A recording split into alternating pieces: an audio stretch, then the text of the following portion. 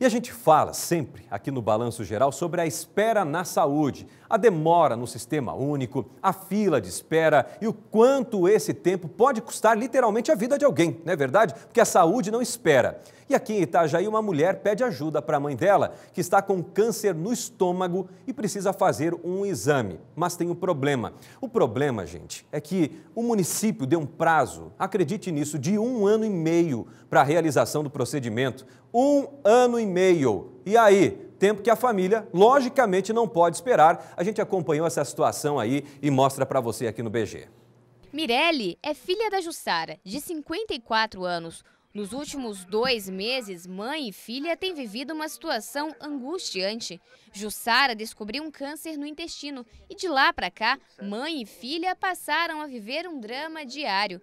Debilitada, a Jussara vive acamada e depende da filha para tudo. Por enquanto eu estou cuidando dela, eu estou de férias, no caso, no meu serviço, meu marido tá, trabalha também, então meu filho mais velho está me ajudando, meu filho de 9 anos ajuda, cada um vai ajudando, tem as minhas tias também que estão me ajudando. Mas o pior é o tratamento da Jussara. Sem plano de saúde, ela depende do Sistema Único de Saúde, o SUS. Ela já tem consulta agendada no médico oncologista, mas para isso precisa de um exame de colonoscopia, usado para ter uma precisão da doença e definir o que precisa ser feito. Mirelle chegou a pedir o exame da mãe na Secretaria de Saúde de Itajaí, mas segundo informações de uma funcionária, esse exame pode demorar cerca de um ano e meio. A família não tem condições de bancar o valor do exame, que na rede particular custa R$ 1.200. A demora está muito grande, é muita gente que está precisando, não é só ela que eu vi assim nesses últimos dias.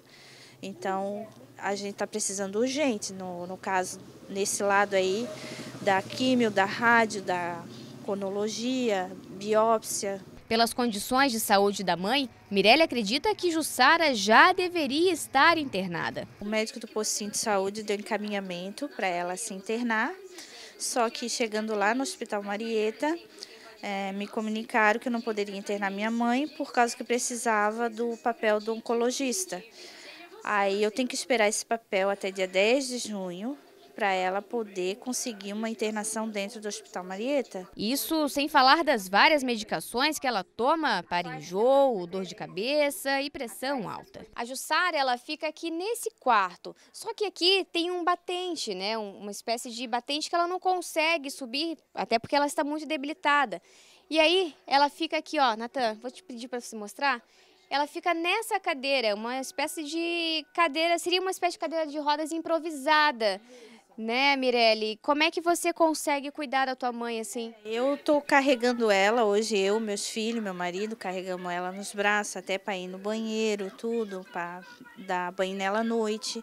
Então, eu estava precisando de uma cadeira de roda para poder locomover ela, para ela se movimentar, até para pegar um sol quando tem pela manhã que ela está precisando e a cadeira de roda facilitaria né, a locomoção da minha mãe. E assim, mãe e filha seguem na luta contra o tempo e pedindo apenas que o direito à saúde seja respeitado.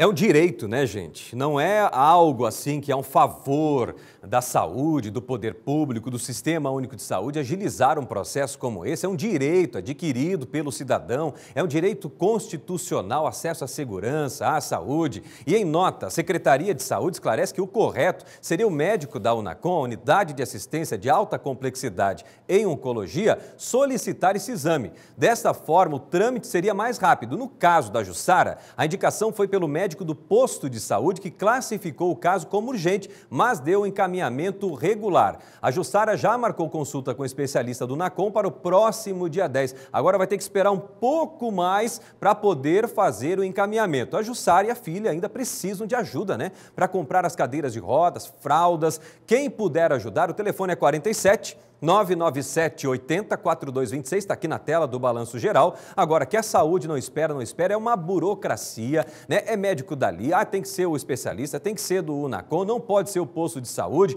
E a gente fala tanto aqui sobre os processos para facilitar os atendimentos, mas quando chega na hora do atendimento em si, a burocracia acaba atrapalhando. No Sistema Único de Saúde já tem uma lei vigente no nosso país para facilitar, dar prioridade ao acesso de mulheres com câncer de mama, receberem atendimento prioritário. E agora, né, alguém tem que se atentar a essa realidade e fazer algum projeto de lei que seja vigente, que aconteça, que seja aplicado, não só no papel e na teoria, que a gente está cansado disso não é verdade? Para que as pessoas possam receber né, o atendimento com respeito acima de tudo. E esse não é o primeiro caso aqui em Itajaí, não. Tem outros casos também.